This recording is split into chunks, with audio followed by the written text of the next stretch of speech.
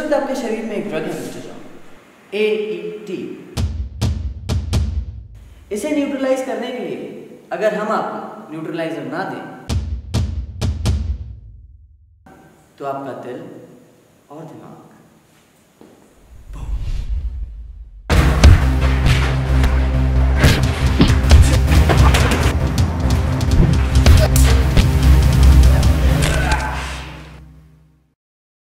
Thank you.